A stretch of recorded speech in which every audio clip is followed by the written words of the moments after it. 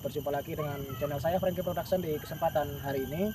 Saya akan mencoba eh, mata pisau baru dari Sanchi ya mata pisau bulat yang mana asalnya mata pisau ini bentuknya panjang seperti biasa. Nah kali ini saya akan mencoba untuk eh, menggunakan mata pisau bulat berbentuk piringan seperti ini. Apakah dia nanti cocok untuk eh, memotong rumput jenis gulma-gulma yang tinggi seperti ini ya yang ada kayuannya ada jenis seperti rumput gajah ini dan rumput kecil lainnya. Apakah nanti piringan ini bisa bekerja dengan sempurna?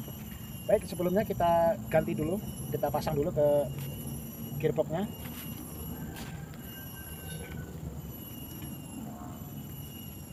untuk penggantian gearbox di sini menggunakan kunci shock 19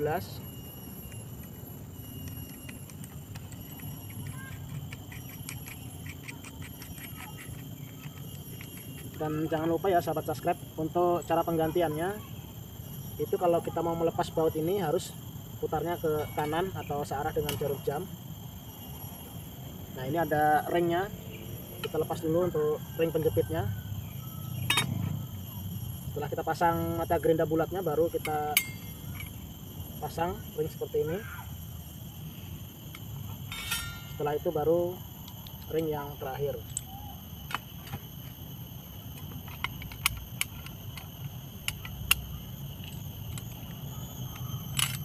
terus terlepas.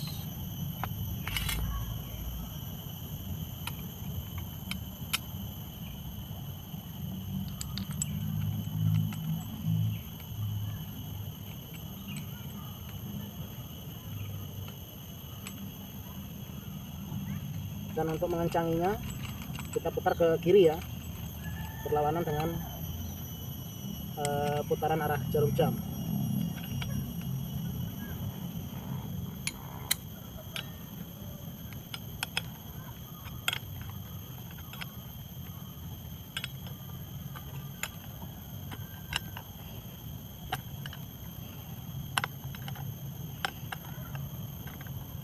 Oke, sahabat subscribe ya. Setelah kita rasa kencang, kita coba hidupkan dulu mesinnya.